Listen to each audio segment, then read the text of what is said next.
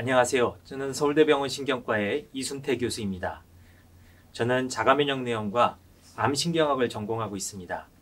혹시 여러분의 가족 중에 기억력이 급격히 떨어지고 경련 발작, 이상 행동을 보이는 분이 있으십니까? 그런 경우 자가면역 내염을 의심해 봐야 합니다.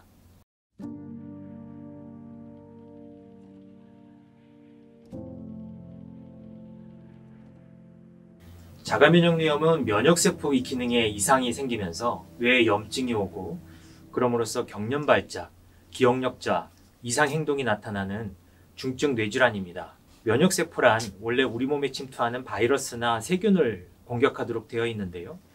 이런 바이러스 감염이 있고 난 뒤에 면역세포가 활성화되면서 이게 잘못되어 뇌를 공격하게 되는 현상이 있을 수가 있고 혹은 몸에 새로운 종양이 생기면서 이 종양을 면역세포가 잡아먹는 과정에서 뇌에 반응을 하면서 뇌염이 올 수가 있습니다. 그러면 몸에서 항체가 만들어지는 기간 동안 뇌 기능이 계속 떨어지게 되고 이 또한 어, 잘못된 면역세포를 제거하지 않으면 어, 중증으로 질병이 진행하게 됩니다.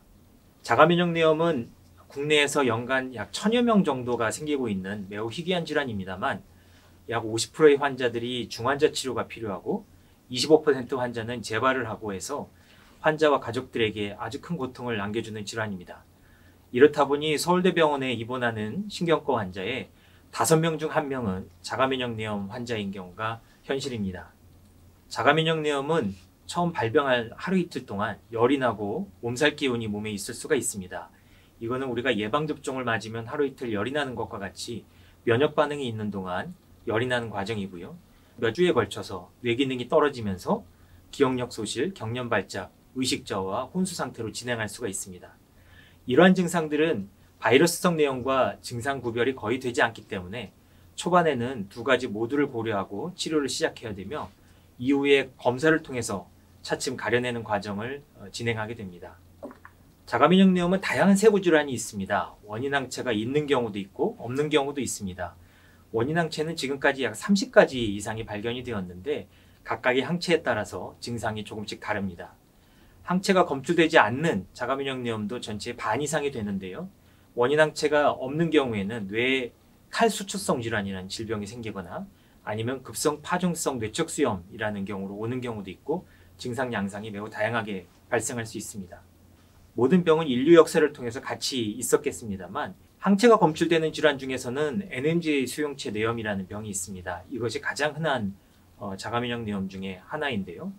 초기에는 환청, 망상 같은 정신 이상 증상이 있다가 차츰 기억력이 소실되고 경련 발작, 언어 장애가 생깁니다. 그리고 계속 진행하게 되면 팔다리와 얼굴에 지속적인 이상 운동이 발생하게 되고 혈압과 맥박이 불안정해지고 침분비가 과도해지고 호흡이 불안정해집니다. 이러므로써 의식저하와 혼수 상태까지 진행하게 되는 무서운 질병인데요. 주로 여성 환자에게서 많이 있고 여성 환자의 절반 수는 난소에 기형종이라는 혹이 있는 경우가 있습니다. 이 기형종을 면역세포가 잡아먹는 과정에서 항체가 생기고 이 항체가 해필 뇌에 있는 NMDA 수용체에 달라붙으면서 병이 발생하게 되는 것입니다. 그러면 기억력을 포함해서 뇌에 있는 대부분의 기능이 소실되게 되고 짧으면 3개월, 길면 2, 3년까지 면역 치료를 받아야지만 어, 기능이 호전되는 아주 장기간의 투병 생활이 필요하게 됩니다. 그 다음 LGI온 내염이라는 것이 있는데 두 번째로 많은 자가면역 내염입니다. 역시 발견된 지 10년이 채 안 되었고요. 고령층에 많기 때문에 노인성 치매로 오해되는 경우가 많습니다. 치료가 늦어지면 어, 인지기능 장애가 남게 되고 그래서 후유증이 남을 수 있는 병이기도 합니다. 이외에도 아주 다양한 어, 임상 양상의 자가면역 내염이 있고 항체별로 조금씩 양상도 다르고 항체에 없는 경우도 다양한 임상 양상을 보일 수가 있습니다.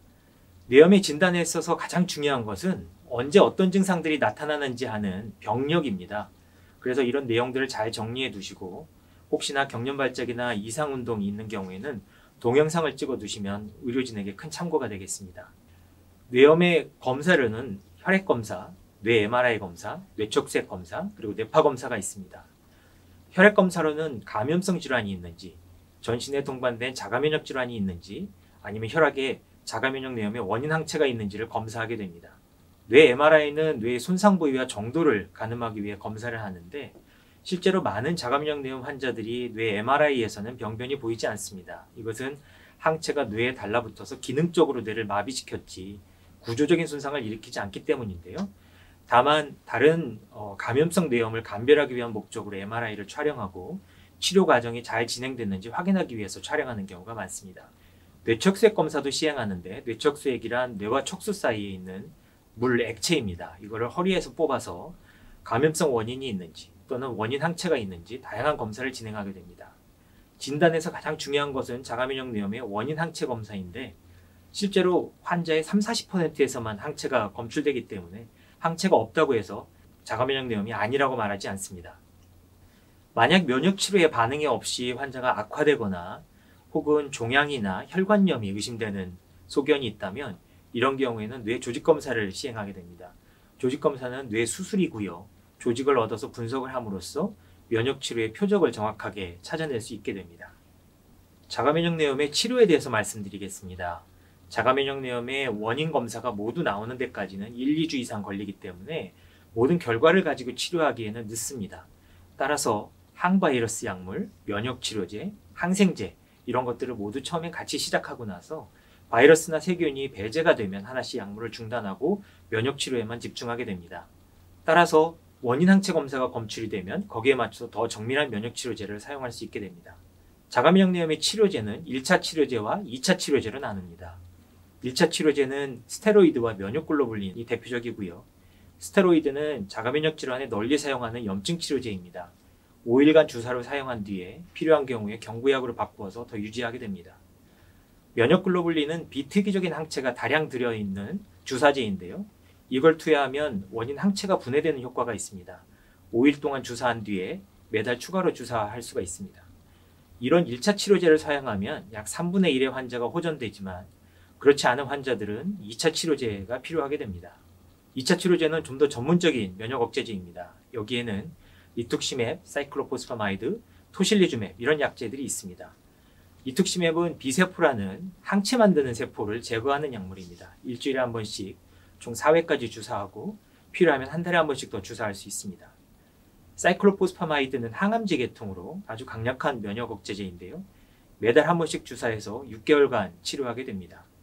토실리주맵은 인터루킨 6라는 면역 매개 물질을 차단하는 약물입니다. 기존 치료에 반응이 부족한 경우에 빨리 회복시키고자 할 때 사용하는 약물입니다. 또 급성기 치료가 완료되면 장기간 경구용 면역 억제제를 복용하기도 합니다. 면역 억제제는 모두 부작용이 있습니다. 어, 질병을 낫게 하지만 면역 기능이 떨어지기 때문에 이런 부작용에 대해서도 충분히 대비를 해야 되겠습니다. 물론 희귀 질환이고 치료가 굉장히 복잡하기 때문에 경험 있는 의사, 간호사, 모든 검사와 면역 치료제를 자유롭게 활용할 수 있는 시스템이 필요합니다만 자가면역 뇌염은 초기에 아무리 신속하게 치료하더라도 질병의 속도는 늦춰지지만 멈출 때까지는 계속 상태가 악화될 수가 있습니다. 자가면역 뇌염은 뇌질환 중에서도 가장 중증 질환입니다.